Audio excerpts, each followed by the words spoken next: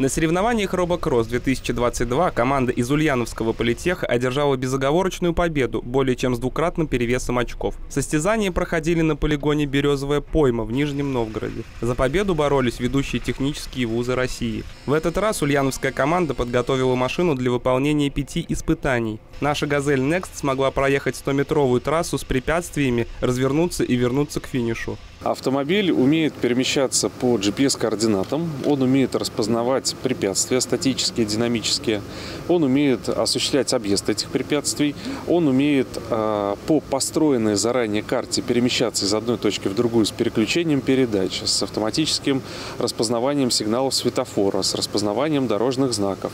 Э, он умеет парковаться автоматически, ну и несколько других вспомогательных задач.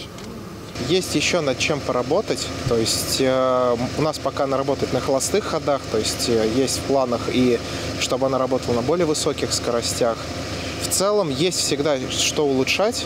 Вот. Но алгоритм следования пути у нас работает корректно, распознавание объектов, знаков там, пешеходов работает корректно. Также парни запрограммировали машину на выполнение перпендикулярной и параллельной парковки. Без водителя «Газель» может проехать с соблюдением всей дорожной разметки. В эпоху современных технологий эти разработки могут найти продолжение в отечественном автомобилестроении и не только. Беспилотный транспорт – это не только перемещение по территории городов, но это и работа на территории закрытых предприятий, это автоматические погрузчики, это во многом сельскохозяйственная техника, а, это перемещение в условиях условиях северных территорий, там, где нет людей.